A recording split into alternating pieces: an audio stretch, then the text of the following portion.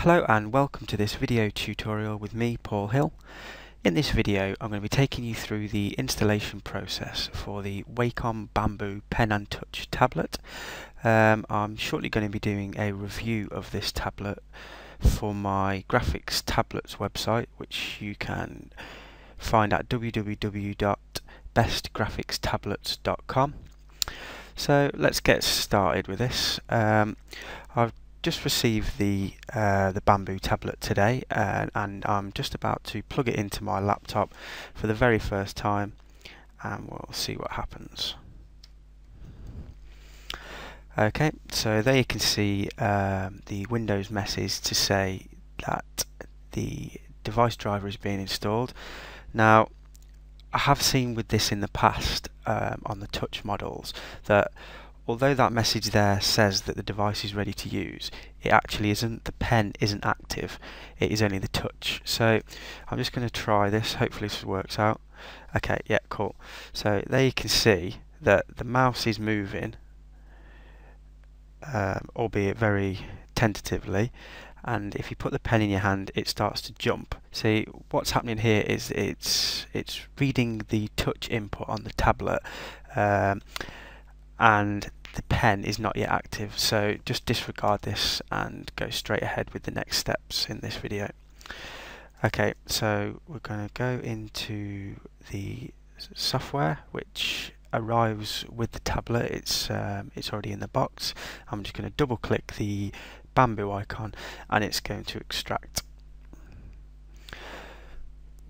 So I've, I've been using a Wacom Intuos tablet for quite a while now um, and if it's anything like the installation for the Intuos it, it doesn't take a great deal of time. So I'm not I'm not going to pause. This is, this is just going to run in real time just so that you can see how long it actually takes and and what actually happens throughout the process. Okay so that is just finishing up extracting now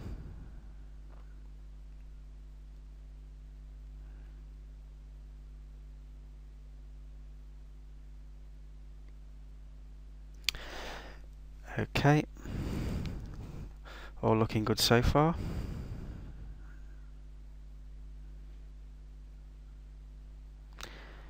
He says. And then we'll just wait a little bit longer. Okay, so here we have the the hello screen on the Wacom Bamboo software. So I'm just going to go straight ahead and start. Um, the Wacom Bamboo pen and touch tablet is an ambidextrous model which basically means that you can rotate it to suit your needs as a left or a right handed person. Being a left handed person myself I'm just going to select that agree to the terms and conditions. I don't think anyone anywhere has ever disagreed with anything on uh, user agreements but there we go. Okay so this is just going to run through now installing the driver and the associated software that arrives with the Bamboo.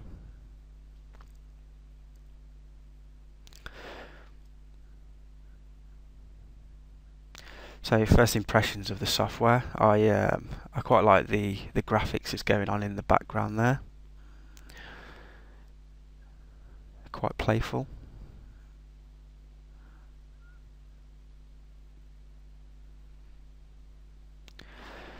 Although the, if this installation was going on for a long time I'm sure it would become quite repetitive.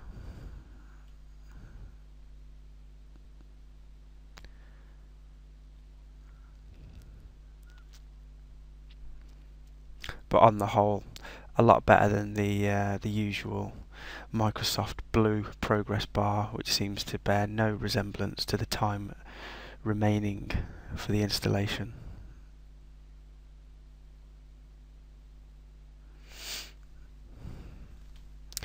So as, a, as an IT engineer myself, I've carried out many installations in the past and I can assure you that this is one of the more entertaining um, backdrops to an installation, shall we say.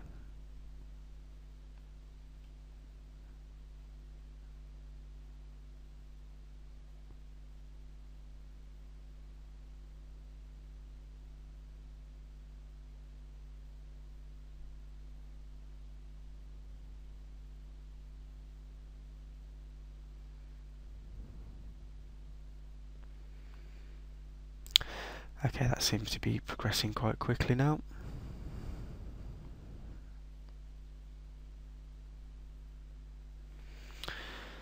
My screen's just decided to go darker for a second. Okay, so I'm I'm not sure what's going to happen at the end of this. Um, some graphics tablet software requires you to perform a restart on your machine. Some of them um, don't actually need this. So, like I say, I'm not sure what's going to happen. There may or may not be a restart at the end of it. Hopefully there won't be, but let's wait and see. Almost done now. So I mean, just running through this real time, you can see that it doesn't take a great deal of time to actually carry out the installation, nor does it uh, require a great deal of configuration either.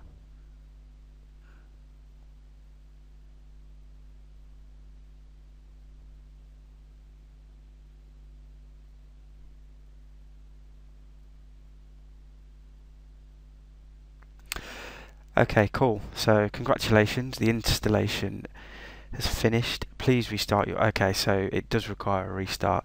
I'm just going to go ahead and do that, um, and I will see you on the other side of the restart. Hello and welcome back to the video.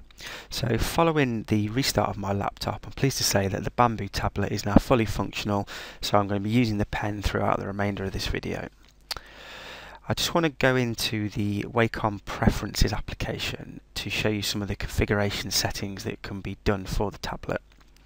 So here we have uh, the orientation, which I mentioned earlier that it is an ambidextrous model, so you can configure it to be in either left or right-handed mode. The express keys, of which there are four on this particular tablet, um, can be configured to perform any of the functions on these on this drop-down menu. So feel free to um, configure the buttons as per your personal requirements. If we go to the pen tab, here we can set the, the softness or the firmness of the eraser, um, configure the functions of the buttons which are located on the pen itself. Uh, we can set our tracking to mouse mode, configure sounds, etc. On the touch options, this is where you dictate the performance of the pointer itself so you can increase the speed, acceleration, double time, etc. Uh, basically the, the settings that you would uh, are familiar with with your um, mouse. Okay, so if we go to the next tab, uh, which is the touch functions. Now touch is a relatively new technology which I believe started with the Intuos 5 and it basically allows you to use your finger to perform functions on the tablet. Now my personal opinion is this is going to be a strong feature with all uh, future models of Wacom uh, tablets so the, the, quicker we are to familiarise ourselves with these functions then the easier we will be going forward. So the things you can perform as you can see on the screen and as the illustrations quite handily show you on the right hand side things like zoom rotation of um, of the page all the things that or sorry many of the things which you would usually have to use the keys for um, if you're using a program like Photoshop etc okay so if we go to the next tab it's the pop-up menu. Now in order to get the benefit of, benefit of these, what you need to do is you need to set one of the buttons on the pen to pop-up menu, for instance. So if we go there, then the configuration settings for the pop-up menu can then be put into action. Okay, so that is pretty much it for the configuration of the Bamboo tablet.